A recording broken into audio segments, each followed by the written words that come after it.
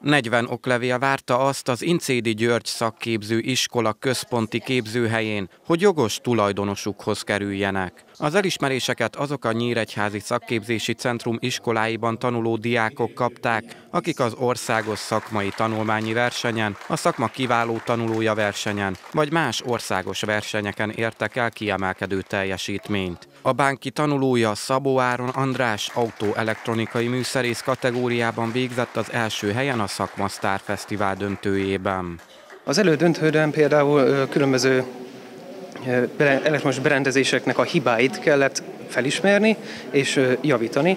Ennek a döntőnek a feladata pedig az volt, hogy egy rendszernek a kiismerése kellett minimális ismeretek alapján. Tehát úgymond egy ismeretlen gépjárműnek kellett a rendszerét felismerni. A Vásárhelyi Páltechnikum tanulója Vajsz Emese Vanda is választott szakmája legjobbja lett. Az Ászév nevű versenyen vettem részt, ez egy országos verseny, vízügyi szakon neveztem, és sikerült az országos első helyet elnyernem.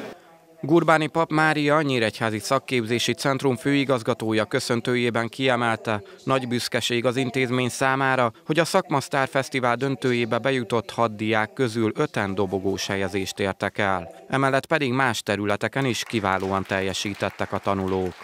Természetesen a szakmai versenyek mellett büszkék lehetünk arra, hogy közismereti versenyeken is legyen ez nyelvi, matematika verseny, szép eredményt értek el a tanulók, illetve idén is nagyon sok országos és nemzetközi versenyen vett részt a Bánki Robotteam, vagy éppen a Veselényes lányok a különböző divatversenyeken nagyon szép eredményt hoztak.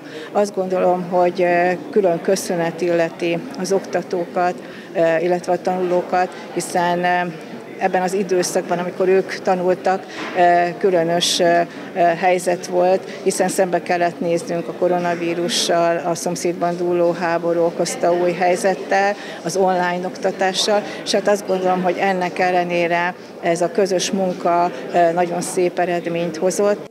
Az országos szakmai tanulmányi versenyeken a centrumhoz tartozó 10 iskolából csak nem 300 diák képviseltette magát, eredményeiknek köszönhetően közülük 55-en mentesülnek teljes vizsga vagy vizsgarész alól. A szakképzés ifjú tehetsége elismerésben részesülők pedig nem csak oklevelet, hanem pénzjutalmat is kaptak kiemelkedő teljesítményükért.